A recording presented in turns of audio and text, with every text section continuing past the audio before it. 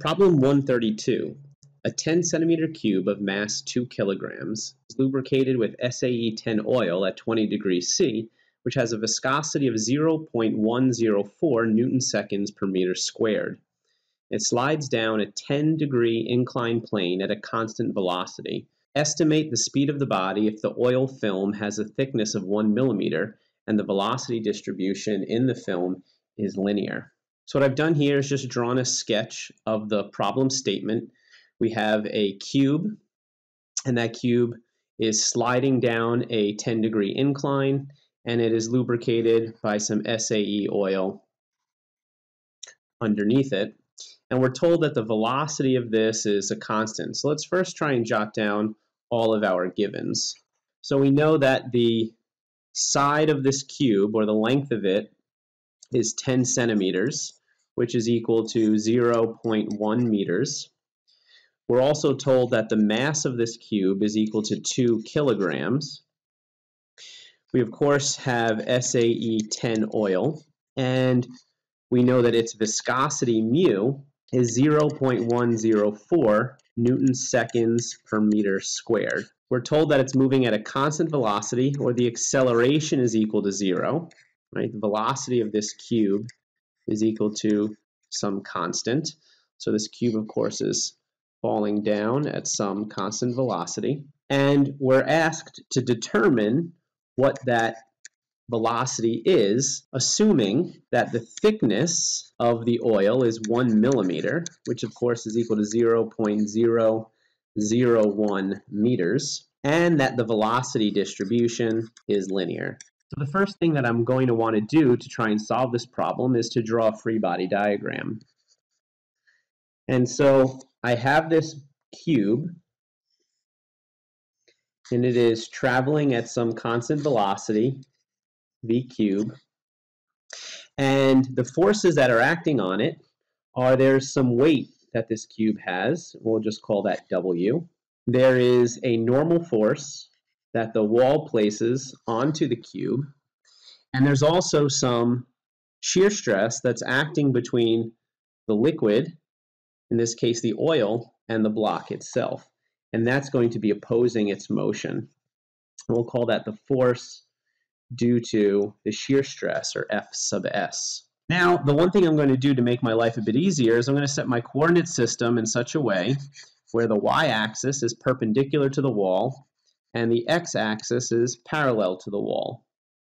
And so the beauty of doing that is if I want to find the velocity of the cube, now that velocity is purely in the x direction.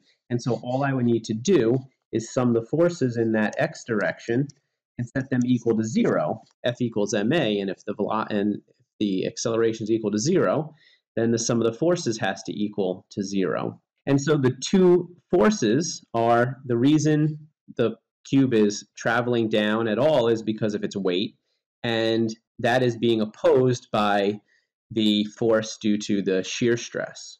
And so we just need to then take the component of the weight in the x direction, and so I just have to recognize that the component in the x direction is going to be modified by this angle here, which is equal to the 10 degrees. And so I have the weight force in the x direction, and that's being opposed by the frictional force, or the force due to the shear stress, in the opposite direction. And these two things added together have to give me zero.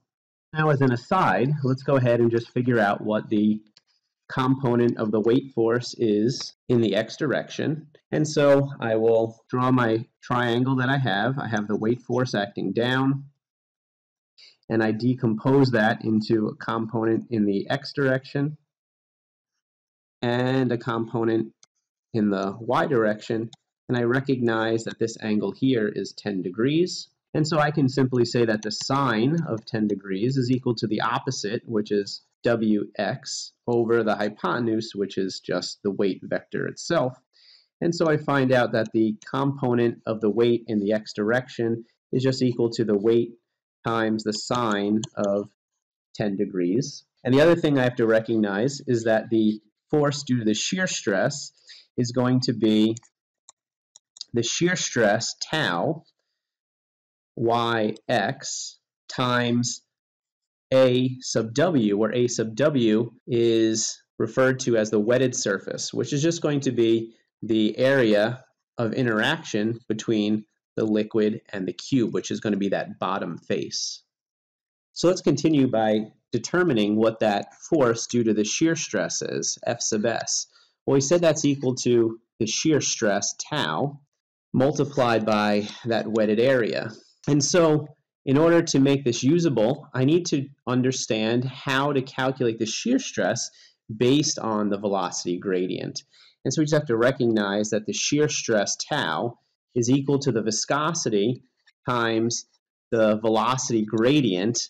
In this case, would be du dy. So here's the shear stress, and I multiply that by the wetted area. Well, in order to determine what that velocity gradient is, let's go ahead and draw a picture. And what I want to do is I'm going to blow up this region underneath the cube. So I have the bottom face of my cube, and I have a portion of the solid slanted wall. And I know, or I'm told to assume that the velocity distribution between these two points is linear. And so I know the no-slip boundary condition tells me that the velocity of the fluid has to be the same as the velocity of the surface. Well, the inclined surface is, doesn't have any velocity, so its velocity is zero. And if I draw the distribution along this dashed line, or how the velocity changes in the y direction, well, it starts out at zero, but it doesn't end at zero. It has to end at whatever the velocity is of the cube. And again, that's because of my no-slip boundary condition. And so if the velocity gradient is assumed to be linear between them. I connect those with a straight line. And here we have now shown the velocity distribution within the SAE oil. Well, the one thing I note is that the velocity gradient is just the slope of this line. And the slope of a line is just equal to some constant. And therefore, the derivative is just equal to a single number, a constant, and that constant can be calculated by just figuring out the slope. Or in other words, the derivative du dy is just equal to the change in u over the change in y. And again, that is only true if it is a linear distribution, which we have here. So now I just have to calculate the change in the velocity. And so if I look at the velocity at the top, I have to recognize that that distance in the y direction is just equal to the thickness, okay? And so the velocity at that point is going to be equal to v cube minus the initial, and the initial velocity at the bottom is equal to zero, and divide that by the change in height. Well, at the position of the cube, the value of y there is just going to be whatever the thickness is of the film, minus its initial value, and the, the y value at the inclined plane is also equal to zero. So now I can come back and figure out the shear stress, and that's just going to be mu times du dy, but that is just equal to the velocity of the cube divided by the thickness of the oil layer, and again times the wetted area.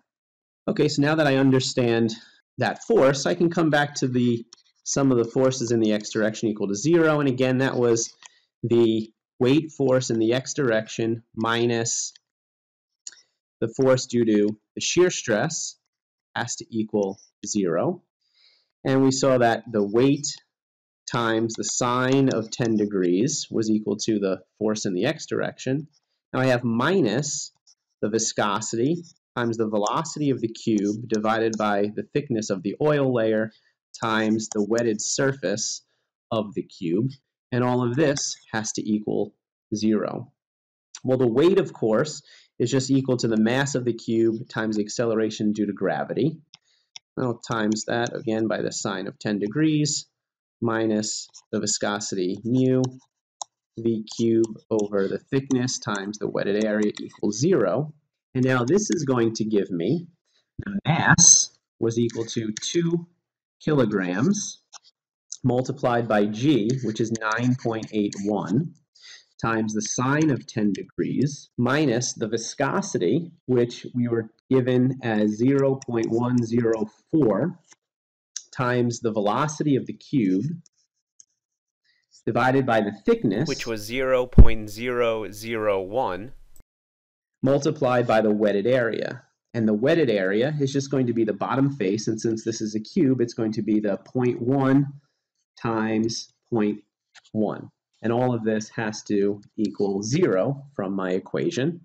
And so you see here I have one equation, one unknown, and I can go ahead and solve for the velocity of the cube, and it winds up becoming 3.28 meters per second.